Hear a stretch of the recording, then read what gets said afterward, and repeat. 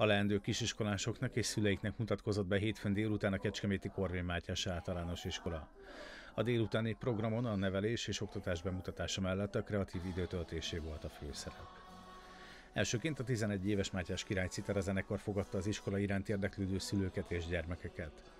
A bemutatkozó előadást követően egy költészetnapi előadás Hídvégi Magyar Tímea drámatanár versenyzenés foglalkozása köszöntötte azokat, akik szerették volna megismerni a Korvin Mátyás általános iskolában zajló életet.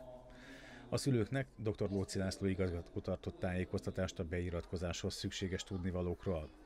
Három helyszínen 15 perces foglalkozásokat is szerveztek, főként a gyermekeknek, ahol kézműveskedhettek, alkothattak, de természetesen a játékos mozgásos feladatok sem hiányozhattak a bemutatkozó délutánról.